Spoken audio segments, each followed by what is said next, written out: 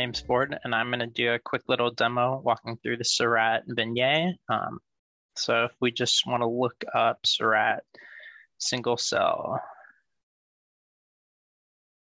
Vignette.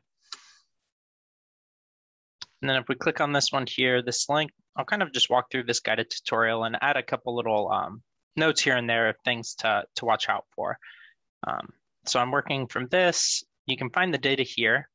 And then if you click on this, this will pull up the R Markdown file. All of this is built on. So I already have those located in the same uh, folder on my computer. So we'll just go ahead and get started.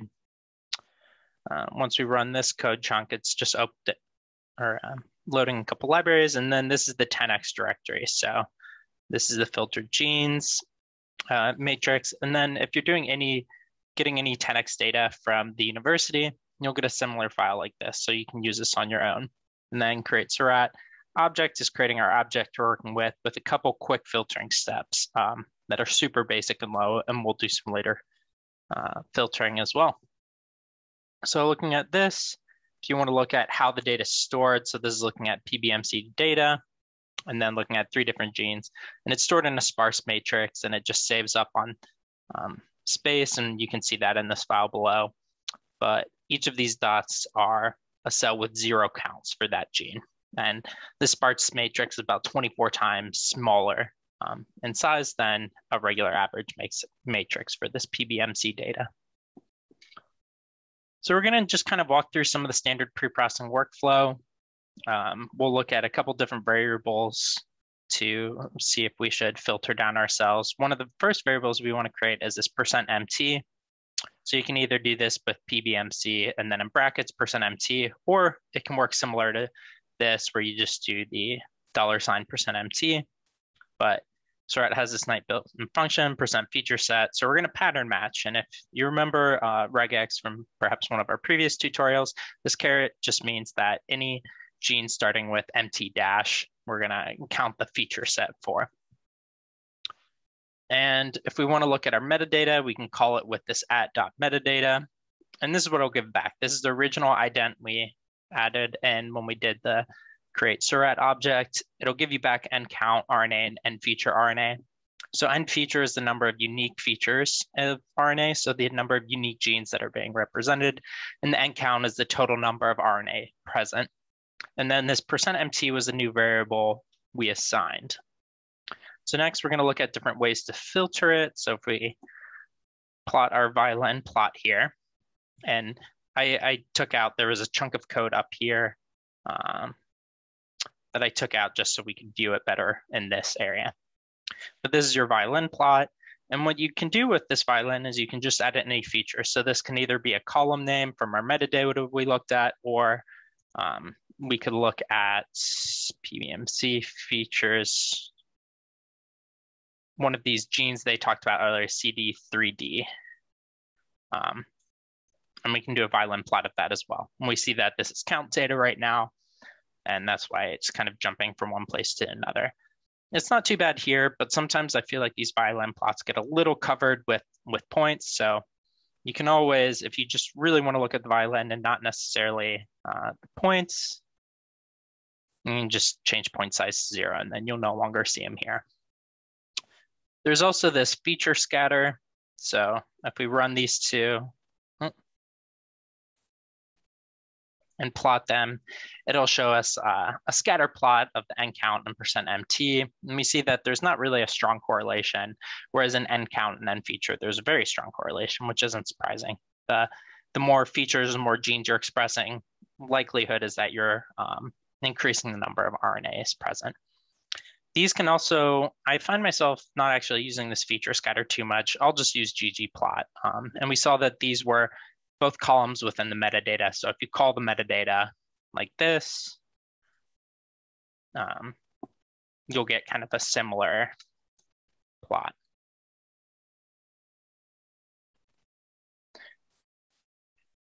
Oh, still need to load it.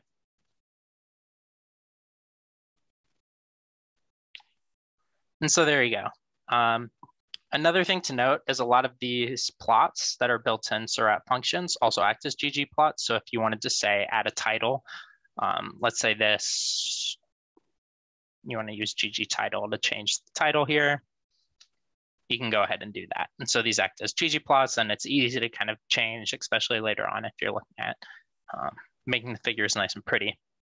So this is kind of a big step here where they're subsetting the data based on um, these three things. And they don't really talk about it too much here. This is, by the way, just a very clean data set. So it's made to look nice and pretty. And it's kind of easy to figure out where you're potentially uh, cutoffs you'd like to set. One thing I always like to do is look at density plots here. So this is our percent MT, and they're setting their cutoff at a vertical line. Um, so they set it off at five. I'll just change the color so it stands out a little bit more. Change the line type to two, which may make it a dash line. So this is where they're setting the cutoff. So they're saying anything kind of after this is potentially bad cells that they don't want to keep in the study, which makes sense. Um, this data is really clean. Sometimes you'll get a bimodal distribution out here. And so I, I, recommend kind of playing with this and really looking at these variables instead of just going with um, what they're saying here. And these this is a really big step in the data. And I always recommend once you kind of have a good idea of what your data looks like, um, to potentially play around with these to see if you're um, perhaps excluding uh, cells that maybe just have a high n feature RNA. So like more of a stem-like cell may have a higher n feature RNA within your data, maybe you're not capturing because of this upper bound. So it's something to look at um, and it'll change in every data set, but theirs is pretty clean. So these uh, subsetting works really well for them. There's a couple normalization steps and further steps. Um, one thing to point out is that they will tell you how to access all these different um, data normalization methods. And this is really useful if you're going back to kind of check on things. So this PBMC RNA data is where you can get this normalized data. Um, another big step is this find variable features. And so they'll talk a little bit, and this kind of 2000 number has been published previously, but in some of the newer uh, methods they have, they do have you go up to 3000 features. And what we're saying by variable features is if you look at this plot here, the standard variance versus average gene expression, each one of these points is a different gene.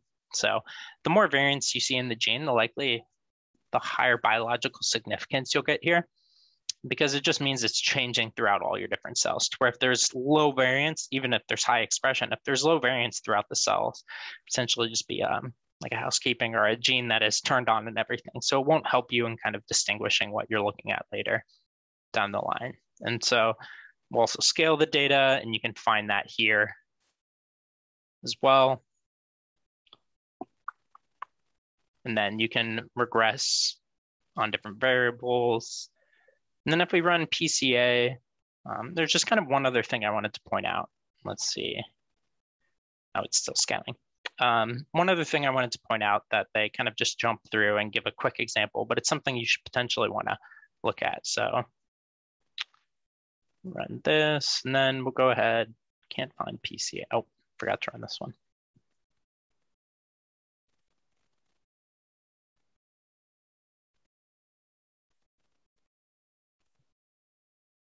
All right, this should work too. Another major step, we don't have to run those. Uh, we'll plot, we'll just show you where the variance kind of lowers for, these are our PCs on the X and the standard deviation on the Y. And the larger the standard deviation, the more biological significance. So really these here at the end um, aren't as useful and they just set it off at 10, which is kind of a typical PC, but this is something else you can play around with depending on how your PC plot looks. You're really, if you imagine this as an arm, you're trying to find the elbow. And so they say the elbow is kind of at nine or 10, so they go with 10 here. Um, one of the big steps is this fine clustering.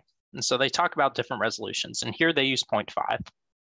Uh, I think they say right here 0.4 and 1.2 typically work with a data set like this of around 3,000 cells, but you should often use higher resolutions. I lean towards higher resolutions right now. That way you get more clusters. And if you end up splitting a cluster that's very similar, you can then just combine them later on, back on later on in your data if you're finding that both of these clusters are the same. We'll go ahead and run the UMAP projection. And we'll go ahead and look at how the UMAP looks with their clustering. So this is the UMAP and these were the clusters they use. So it, the clustering doesn't always match up with UMAP projection, but here you see it's pretty clean of like pretty distinct groups with different colors. Um, one other thing I like to do is once you have this UMAP, you can run through different resolutions. So let's say we run uh, from, they said 0.4 to 1.2, and we'll go by every 0.1. We will do a different, uh, we'll look through different resolutions. So right here we have find clusters. This was the code they used up earlier. So we're gonna change the resolution. They just use 0.5. We'll circle through 0.4 and 1.2. And then we will plot this. And this by default, we'll just plot um, the Seurat clusters, which will be overwritten in each of these stage. And then, like I said earlier, we'll just add, no, inside here. We'll just add a title saying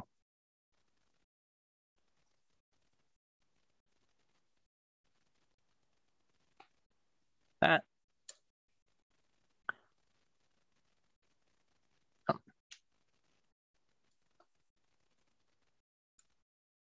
But this will just run through all these different resolutions in this sequence from 0.4 to 1.2 by 1. So we're looking at 0.4, 0.5, 0.6, et cetera, all the way up to 1.2. And then we're doing a new clustering, and then we're going to plot it in our, our UMAP. And so if we look at this, 0.4 looks very similar to 0.5. Let's see if we can make this just a touch smaller so it's easier to go through them. So we go up to 0.5, looks very similar, but you'll see in 0.6, very similar, 0.7, 0.8 changes slightly where this one gets broken up into two. And then we see some shifting in populations within. Um, but really, you can see this data is really clean. Um, and I mean, it's test data for their package, so that makes sense. But when looking at your own data, this might change drastically. And, and it's something useful to look at um, and something to play around with. But that's a quick little introduction to the Seurat Vignette. They go through some more steps and we hope to come out with some more videos talking about cluster naming and some other things, but this should get you started with using the Seurat package.